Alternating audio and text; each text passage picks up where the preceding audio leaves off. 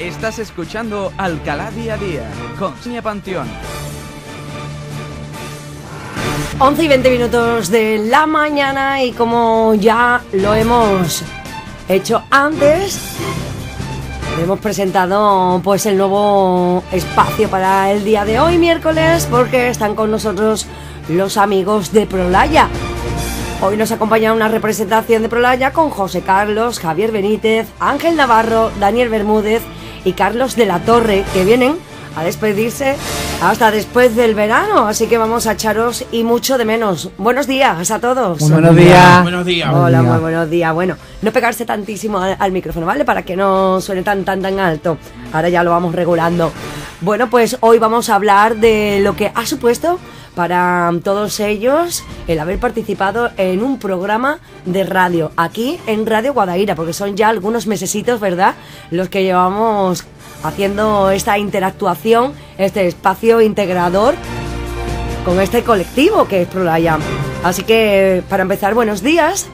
Quería comentar que aunque vamos a intervenir, pues Daniel, aunque van a intervenir Daniel y yo, hola, buenos días, Carlos, Daniel, que buenos sois días. los que vais a intervenir. Buenos días. Bueno, pues a ver, eh, en principio, antes de comenzar con nada, que vuestra opinión personal ¿Habéis estado a gusto durante todo este tiempo aquí en Radio Badaira? Sí, sí. Sí, ¿verdad? Y hoy estáis fresquito también, ¿verdad? Sí, sí. ¿Eh? Hacía mucha calor en la calle. Bueno, pues ¿cuánto tiempo lleváis viniendo a la radio, Carlos? Cuéntanos. Pues, hola, buenos días. Antes de empezar, me gustaría comentar que aunque vamos a intervenir Daniel y yo, hemos venido una pequeña representación del grupo que preparamos los programas de radio. Aquí están mis compañeros Javi, Javier, Ángel y José Carlos. Perdón. Aquí el estudio de Radio Guadaira empezamos a venir en febrero.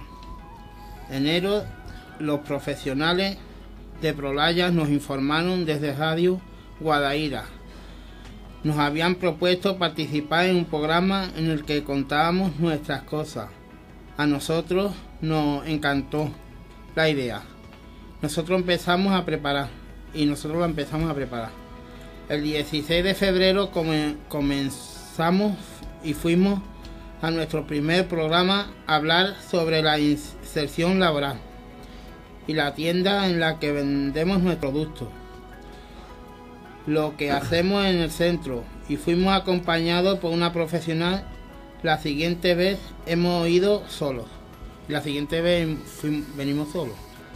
Al final decidimos hacer los programas quincenales porque todas las semanas nos resultaba más complicado y nos daba tiempo de prepararlo bien. La verdad es que lo habéis hecho muy, pero que muy bien, a pesar de la dificultad que tiene el hacer un programa de radio eh, en directo, que lógicamente es complicado para los profesionales, pues más aún para aquellos colectivos ¿no? que no se dedican a esto. Daniel, ¿y de qué temas nos habéis hablado durante todos estos meses para hacer así un repasito y que la audiencia conozca todo lo que hemos hecho durante desde el mes de febrero precisamente? Buenos días. Hemos hecho un total de ocho programas en este verano, este noveno, perdón, en todo este tiempo hemos hablado de muchos temas. Como ha dicho mi compañero Carlos, eh, en el primer programa hablamos de la tienda que tenemos en el centro comercial Los Alcoholes, aquí en Alcalá, donde, donde trabajamos y, y exponemos los productos que hacemos en el centro. También hemos tratado el tema del voluntariado del trabajo que hacemos como voluntarios con, con nuestro grupo que se llama Yo puedo ser voluntario. Precisamente el, el mes pasado hemos participado en, el, en la última campaña del Banco de Alimentos. en otro programa hemos hablado de nuestros derechos que son los mismos que el de todas las personas y que a veces no se, no se cumplen. Este tema nos preocupa y mucho y estamos, estamos siempre reivindicándolo.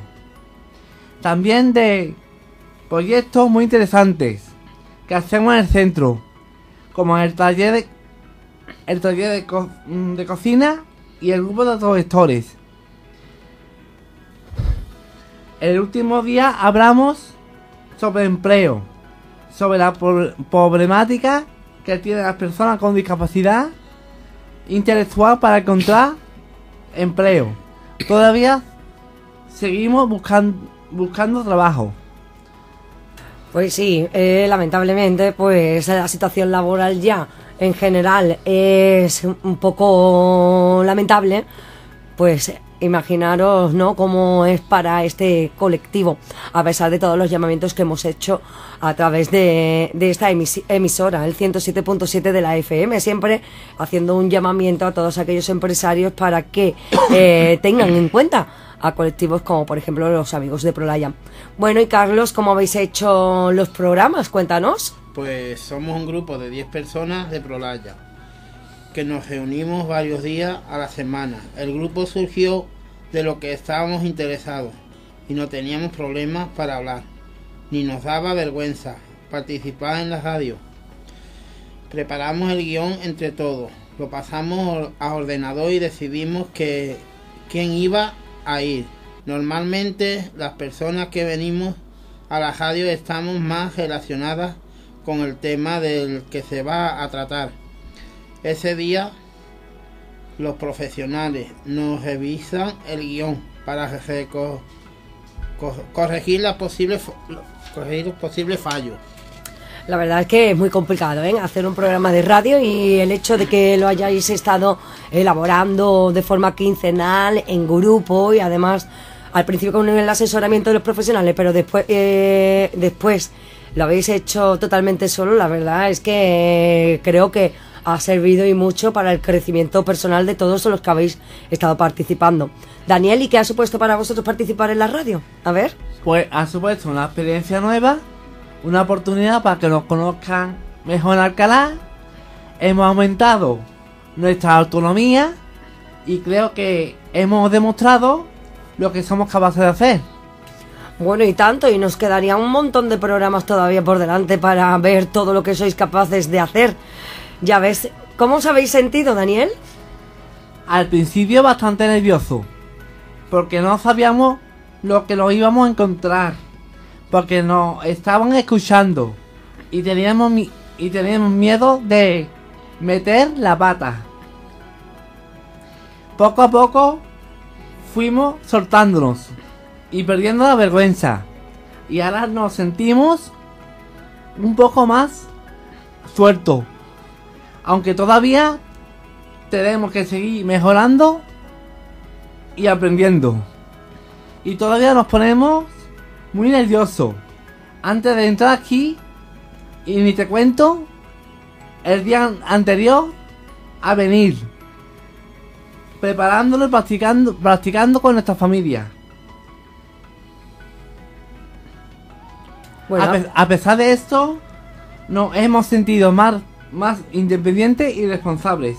ya ves, si nos ponemos nerviosos nosotros que lo hacemos a diario, ya ni te cuento cómo os tenéis que poner vosotros. Bueno, Carlos, sí que habéis aprendido.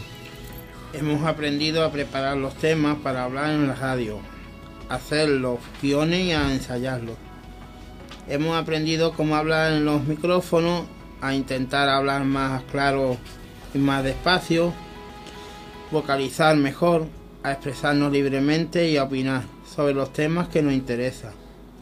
También estamos aprendiendo con- a controlar los nervios, a quitárnosnos un poco la vergüenza. ¿Y qué dificultades habéis encontrado, Daniel? Algunas veces nos ha faltado tiempo para preparar programas, porque en el centro tenemos muchas actividades y siempre vamos a contrarreloj. Por ejemplo, tenemos un grupo de senderismo, otro grupo de, de gimnasia, también tenemos un equipo de fútbol, tenemos un, curso de lengua de signo. el taller de cocina que cocinamos los martes, los martes y los viernes para todo el centro. El grupo de autogestores, el grupo de voluntarios, un club de lectura y, y muchas actividades. Vamos, que no que no mm, que no paramos ni un día. Hablar en público siempre nos ha dado vergüenza, aunque como ha dicho Carlos, ya vamos poco a poco soltando, superándolo. La dificultad mayor que hemos encontrado ha, ha sido la de prepararnos el guion, prepararnos, prepararnos el guion, de intentar no leer y poder expresarnos con naturalidad. Pues claro que sí, se ha ido viendo programa tras programa esa naturalidad y como habéis ido creciendo a la hora de hablar en público. Pero que esto no se va a quedar aquí, ¿eh? aunque os vais de vacaciones. ¿Cómo habéis evolucionado, Carlos? Nos da menos corte expresarnos con el micrófono. Tenemos más in- iniciativa a la hora de proponer temas. Tardamos menos tiempo en redactar los guiones. Necesitamos menos apoyo. Y vamos solo a la radio. Llevamos los temas mejor preparados y vamos más sol- con más soltura. Pues sí, efectivamente. Daniel, ¿y qué os parece la oportunidad que os ha dado Radio Guadaira de participar en, en esto? Estamos encantados porque nos habéis, nos habéis dado la oportunidad de vivir una experiencia nueva, de expresarnos mejor. Podemos expresar lo que, lo que pensamos y contarle a, las personas lo que hacemos y cómo somos. Y poner nue- nuestro granito de arena para, para cambiar la visión que tienen las la, que tiene la sociedad de las personas con discapacidad intelectual. Estamos muy agradecidos por la oportunidad. Por la oportunidad. Somos capaces de hacer muchas cosas. Y vosotros nos habéis dado la oportunidad de demostrarlo. Ay, que se me coge aquí una lagrimita y un nudo en la garganta, ¿eh? tanto, tanto alabos para, para Radio Guadaira. Nada, nada, que nosotros lo que estamos haciendo es nuestra función social, la de esta radio que es una emisora pública y evidentemente una emisora para Alcalá de Guadaira de y para. Así que estáis en vuestra casa. Carlos, ¿qué os han dicho vuestros familiares y amigos? ¿Os han escuchado? Sí, nos han dicho que hemos mejorado mucho y que les ha gustado. Están muy orgullosos de nosotros. En el centro nos escuchan siempre todos. Ahora mismo nos estarán escuchando seguro. Pero seguro, seguro. Bueno, y para terminar, Daniel, ¿os gustaría añadir algo? Nos gustaría agradecer a los profesionales por el apoyo que nos, que nos han dado, que nos han prestado, perdón, y a los compañeros por darnos la felicitación cuando, llega, cuando llegábamos al centro. A Costillo por contar con nosotros, por la confianza y por el apoyo. Aprovecho también para agradecerles el que nos haya facilitado el hacer voluntariado en el ropero del, Socor- del Socorro de la Hermandad de Jesús Nazareno. Agradecer también a todos los que formáis parte de, de esta emisora de radio Guadaira. Pues nosotros también tenemos muchas cosas que agradeceros a vosotros. También nosotros hemos aprendido muchísimo, ¿eh? A través vuestra, no os creáis que no. Y no solamente los que estamos aquí haciendo el programa día a día en Radio Guadaira, sino también, por supuesto, todos nuestros oyentes. Al fin y al cabo se trataba de hacer un espacio de integración mutua entre vosotros y nosotros y nosotros y vosotros. Por tanto, lo único que os puedo decir es que pase- paséis buenas vacaciones porque a partir de septiembre os queremos otra vez aquí, ¿no? ¿Qué os parece? Bien, eh, yo solo quería decir que de parte de todos los compañeros nuestros que hemos hecho la radio y los de Prolaya, que hemos traído... Secar. Ay, que, ay, que habéis traído un regalito. Sí. Ay. Un regalito para, para, para, ustedes. Espero que les guste. Ay, Dios mío, de mi vida. Bueno, pues ahora mismo vamos a, si me trae, me lo traéis así, digo yo, se lo cuento a nuestros oyentes que es este regalito para Radio Guadaira. Y estas son las cosas que más nos gustan de los directos. a ver, a ver, ¿qué es lo que tenemos por aquí? Para los compañeros de la radio, Paco Valiente, Manuel Costillo y esta, y esta que os habla, Sonia Pantión. La verdad que siempre agradecidos. Qué trabajo más gratificante, por Dios. A ver. Este es el sonido ¿eh? del papel de regalo. Ay, mira que han dibujado. Os habéis dibujado, ¿no? Con Costillo también aquí en la mesa del estudio, de la radio. ¿eh? La han dibujado y coloreado con los micrófonos y pone un cartelito que dice Prolaya os da las gracias. Ay, por favor, qué cosa más bonita y más curiosa. Decía yo. Ay, ¿has sido tú? Pues esto le vamos a hacer una foto y lo vamos a subir nosotros a Facebook y a Twitter de Radio Guadalajara para que todos los oyentes y seguidores que tenemos en las redes sociales puedan ver el trabajo que habéis hecho. Desde luego es un trabajo de agradecer ese eh, gran esfuerzo que habéis estado realizando durante pues prácticamente estos seis meses porque sin duda sí es complicado para todos nosotros el hacer un programa en directo a diario, pues mucho más, por supuesto, lo tiene que ser para, para vosotros que tenéis tantas actividades y estáis tan ocupados. ¿eh? A ver, tenemos aquí, hay que recordar lo que tenemos aquí a José Carlos, a Javier Benítez, a Ángel Navarro, a Daniel Bermúdez y a Carlos de la Torre. Y ellos solamente son un- una pequeña representación del colectivo de Prolaya, ¿eh? Que hay que mandar un saludo, que están escuchándonos desde el centro, que está ubicado en el San Francisco de Paula, ¿no?